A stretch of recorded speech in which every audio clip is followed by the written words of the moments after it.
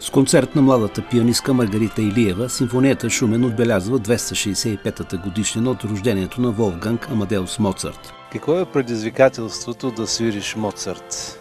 И какви са подводните камъни в това изпълнение?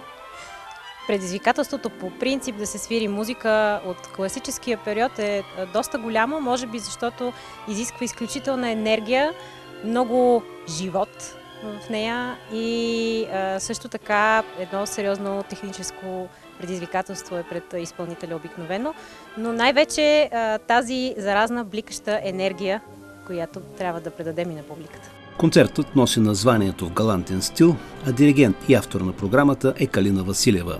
С голямо удоволствие се подготвихме, защото наистина се получи един много специален концерт с настроение, с светлина, с позитивна енергия, която облика от музиката на Моцарт и на Йохан Кристиан Бах, който също е включен в програмата и с когото те са били близки познати и са се вдъхновявали един друг.